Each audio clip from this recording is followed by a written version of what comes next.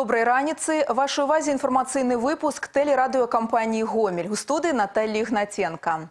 У Гомелі прайшло пасяджэнне аб'яднанай калегіі міністэрства ўнутраных спраў саюзнай дзяржавы. Яе ўдзельнікі абмеркавалі пытанні ўзмацнення барацьбы з арганізаванай злачыннасцю, аховы грамадскага парадку і супрадзення злачыннасці на транспарце. Сёння значнасць супрацоўніцтва паміж міністэрствамі асабліва актуальная. Лідары злачынных груповак імкнуцца арганізаваць і кантраляваць нелегальныя пастаўкі праз беларуска-расійскую мяжу транспартных сродкаў, зброі, наркотыкаў, наладзіць каналы нелегальнай міграцыі. У сувязі з гэтым праваахоўныя органы рэгулярна ажыццяўляюць сумесныя мерапрыемствы. Так за мінулы і першы квартал гэтага года выяўлена каля 400 злачынстваў, здзейсненых арганізаванымі групоўкамі на тэрыторыі Беларусі і больш як 18 тысяч расійскай федэрацыі. Апрача таго, за два гады беларускімі праваахоўнікамі ў інтарэсах расійскіх калег затрыманы 345 абвінавачваемых. У сваю чаргу расіяне затрымалі 755 чалавек, якія здзейснілі злачынствы ў нашай краіне. Дамоўленасці, якія дасягнуты на пасяджэнні аб'яднанай калегі міністэрства ўнутраных спраў саюзнай дзяржавы ў Гомелі, знайшлі сваё адлюстраванне ў падпісаных выніковых дакументах. Апрача таго, бакі ўзгаднілі пытанні парадку дня наступнага пасяджэння. Затруднения, они порой возникают в плане нормативного правового регулирования, технических каких-то моментов, возможно, финансовых моментов. Но в целом мы удовлетворены, что э, те решения, которые принимаются, они притворяются в жизнь. И главное, что есть результаты, положительные результаты от принятых э, ранее решений. На следующий год мы также определили план своей работы совместной коллеги, коллеги союзного государства МВД России и Беларуси. И э, мы будем рассматривать вопросы приграничного сотрудничества милицейского, полицейского э, в плане взаимодействия регионов России и Белоруссии. Э, и там тоже есть пища для размышлений и для решений соответствующих. И вторым вопросом мы рассмотрим миграционную ситуацию. То есть риски и вызовы, связанные с миграционными потоками наших стран, участие в каких-то глобальных вещах, которые происходят сегодня в мире, связанные с миграцией законной, незаконной, трудовой, нелегальной и так далее. У добрушы ўрачыста адкрылі адноўлены раённы вузел паштовай сувязі. Яго мадэрнізацыя дазволіла павысіць хуткасць і эфектыўнасць абслугоўвання кліентаў і палепшыла ўмовы працы работнікаў. Такой маштабнай рэканструкцыі пошта чакала ўжо даўно. Яна адкрылася ў 1980 годзе. З таго часу сур'ёзнага рамонту не праводзілі ні разу. Зараз тут абнавілі фасад будынку, правялі поўную мадэрнізацыю рабочых памяшканняў і зал для абслугоўвання наведвальнікаў. Колькасць працоўных месцаў аператараў павялічылася скаротилася до пяти. Створено особное окно для работы с корпоративными клиентами. Модернизация дозволила сделать обслуговывание людей больше хутким и эффективным. Меньше стали очереди, потому что больше добавилось вот этих касс и больше ассортимент стал вот на почте. Посмотрите, сколько всего стало нового, аккуратно, чисто все. Больш прыемнай і зручнай стала таксама работа саміх супрацоўнікаў вузла сувязі. Упершыню з'явіліся асобныя памяшкання для работнікаў перасоўных аддзяленняў і пакой адпачынку. Кошт праведзеных работ склаў 5,5 мільярдаў рублёў. За неполных три месяца мы провели полную модернизацию фасадов здания, заменили оконные блоки, перекроили помещения, служебные производственные помещения первого этажа, провели в них ремонты, полностью сделали ремонт в отделении почтовой связи и установили новую мебель. Кроме того, благоустроили территорию и привели в соответствие к существующим стандартам системы тепло- и электроэнергии. К слову сказать, только по теплоэнергии мы получим экономии больше 30 миллионов в год. У адноўленым аддзяленні новыя формы работы з кліентамі. У дзень адкрыцця тут адразу праводзяць акцыю дзень чытача, удзел у якой прымаюць прадстаўнікі рэспубліканскіх і гомельскіх перыядычных выданняў. Тым, хто афармляе падпіску на газеты і часопісы, пячатнае выданне ў падарунак і удзел у бяспройгрышнай латарэі.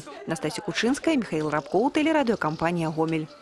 30 чэрвеня ў беларусі завяршаецца прыватызацыя жылля з 1 ліпеня ўсе кватэры на якія не будуць аформлены неабходныя дакументы будуць пераведзены ў катэгорыю арэндных з адпаведнай аплатай алег сенцроў пацікавіўся станам спраў у адным з раёнаў гомельскай вобласці Жылы фонд жлобіна і жлобінскага района зараз гэта 534 дамы на сённяшні дзень непрыватызаванымі застаюцца 6 процентаў кватэр хоць не выключана што до конца месяца. Гэтая лічба зменшыцца Сярод тых, хто не жадае набываць жыллё ў прыватную ўласнасць, перш за ўсё адзінокія пенсіянеры і маламаёмыя грамадзяне. Між тым, калі за ўвесь папярэдні месяц дакументы на прыватызацыю на жлобенчыне накіравалі 70 чалавек, то за першыя 10 дзён чэрвеня ўжо 40. З коштам кватэр у абласным цэнтры мясцовае жыллё непараўнальнае. Самая вялікая сума, якую неабходна заплаціць за двухпакаёвую кватэру ў жлобіне 450 мільёнаў рублёў. Увогуле гэтая сума залежыць ад шмат якіх фактараў. Месца знаходжання дома, матэрыяла, за якога ён пабудаваны, і нават тэрміна подачи заявы. Гады два тому приватизация каштовала у разы танней. Уся справа у так званом индексе будовничо-монтажных работ. Разница вот по сравнению с 2013 годом уже в два раза, потому что индекс в 2013 году где-то был 15 в среднем, а сейчас он уже 32.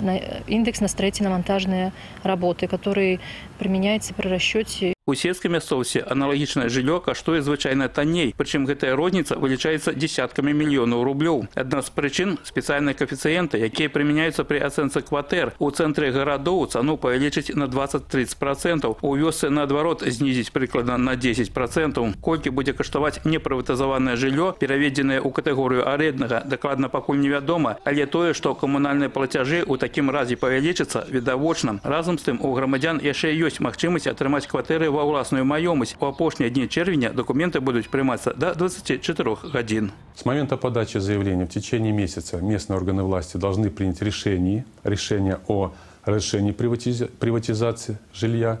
А, Еще гражданину дается год на то, чтобы в течение этого времени оплатить первоначальный взнос в размере не менее 10% и нотариально заключить договор и зарегистрировать свое жилье в БТИ, ну, в органах регистрации. С этого момента он становится уже, скажем так, собственником своего жилья. Олег Сентеров, Евген Макеенко, телерадиокомпания «Гомель», Жлобинский район. Дарэчы, размова пра прыватызацыю жылля пойдзе сёння ў праграме дыялог.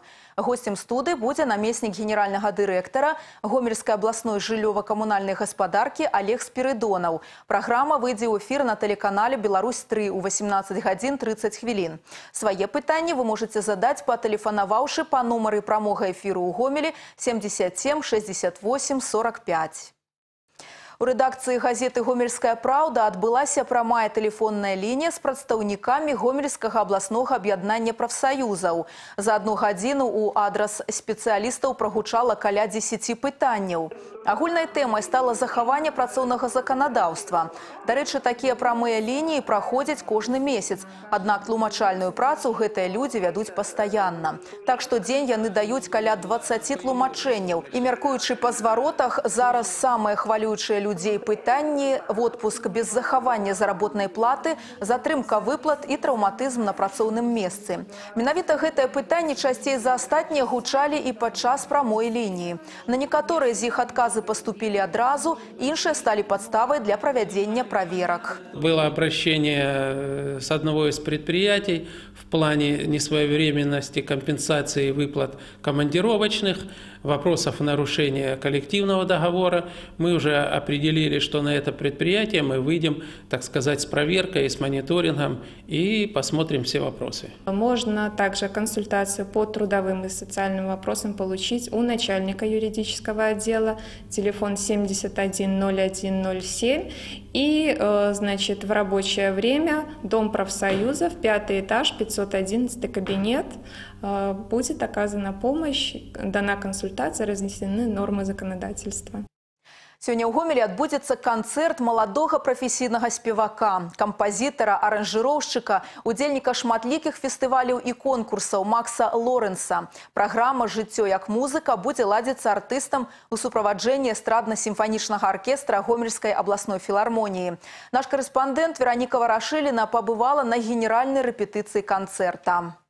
Жыццё Макса Лоренса гэта бясконцая музыка, якую ён шчыра і без астатку дзеліцца са сваімі слухачамі. Адсюль назва сольнай праграмы жыццё як музыка. Макс Лоренс таленавіты выканаўца, творчасць якога шырока вядомая ў айчынным і расійскім шоу-бізнесе. Ён уладальнік гран-пры фестывалю славянскі базар у віцебску, лаўрэат конкурсу новая хваля ў юрмале, фіналіст нацыянальнага адборачнага тура еўрабачання. Падчас сольнага канцэрта Макса Лоренса слухачы пачуюць спалучэнне пачуццёвага і меладычнага голасу маладога артыста ў суправаджэнні суправаджэнні жывога гуку эстрадна-сімфанічнага аркестра гомельскай абласной філармоніі. Сумесны творчы праект абяцае стаць сапраўды унікальнай, відовішнай і незабыўнай культурнай падзеяй. Программа получилась разноплановая это и лирические песни э, авторские э, Макса Лоренса, и быстрая клубная музыка, и хиты мировых исполнителей в исполнении Макса Лоренса. Все это получилось очень качественно, очень динамично, и программа, мне кажется, не оставит никого из присутствующих в зале равнодушным. Падчас канцэрту прагучаць такія яркія музычныя творы Макса Лоренса, як лебядзіная, саундтрэк да фільма бой з ценем. Сыходжу з розуму, вядома па нашумелай камп'ютарнай гульні GTA 4. Суперхіт гэтай ночы горад не спіць, які прагрымеў на топавых радыёстанцыях Беларусі, краін блізкага і далёкага замежжа, а таксама кампазіцыі эстрадна-сімфанічнага аркестра гомельскай абласной філармоніі. Праграма абяцае ўразіць прадстаўнікоў самых розных музычных густаў. Эта программа, ее можно назвать и модной, ее можно назвать и ли- лирической. В ней есть и классика жанра, и джаз, и блюз есть, и R&B. В ней есть и романсы, и баллады. То есть все, что я люблю, все, на чем я учился когда-либо в жизни, да, все вставили в эту программу. И можно так сказать, э, человек, который придет в зал послушать нас, он услышит волшебное звучание музыки оркестра и голос Макса Лоренса, который вот сформировался за эти долгие годы, кто следил за моим творчеством, на чем я учился и как так получилось, что Макс Лоренс вообще поет, какую музыку он слушал, какие его песни любимые.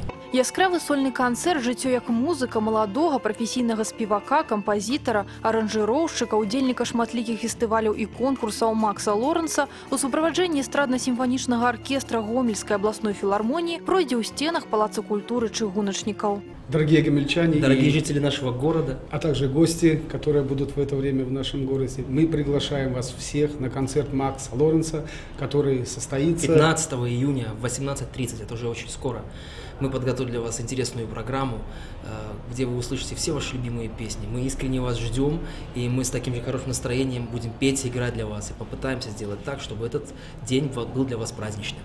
Вероніка Варашыліна, Валерый Гапанько, тэлерадыёкампанія Гомель. У Гомелі адбыўся кубак вобласці па плаванні. На працягу двух дзён мацнейшых у палацы водных відаў спорту выяўлялі юнакі дзяўчаты.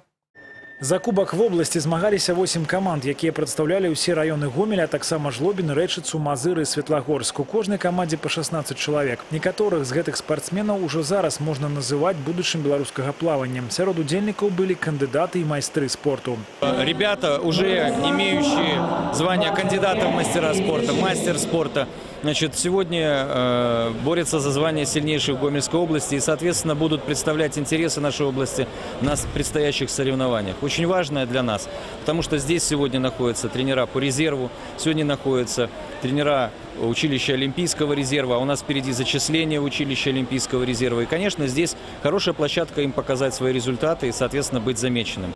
За два дні ў басейне палаца водных відаў спорту разыгралі амаль 40 камплектаў узнагарод. Некаторыя спартсмены падымаліся на п'едэстал не адзін і не два разы. У агульным заліку перамагла каманда Жлобіна і стала ўладальнікам кубка. Гэта значнае дасягненне. Аддзяленне плавання ў райцэнтры з'явілася толькі ў 2007 годзе на базе цэнтра алімпійскага рэзерву. І вось там ужо выхавалі сваіх майстроў спорту. Еще есть много над чем нам поработать. Это только первые ласточки. И надеюсь, что в 2020 году, к 2020 году мы уже сможем подготовить того спортсмена, который будет представлять Гомельскую область от лица Жлобина на Олимпийских играх. Па выніках кубка вобласці будзе сфарміравана зборная каманда з 24 спартсменаў, якая прадставіць наш рэгіён на кубкі краіны, які ў сярэдзіне ліпеня будзе прымаць гродна. Максім Савін, Максім Славін, тэлерадыёкампанія Гомель. І гэта быў апошні сюжэт нашага ранішняга выпуску. У студыі працавала Наталья Ігнаценка. Мы сочым з развіццём падзей у Гомелі і ў вобласці. Заставайцеся з намі.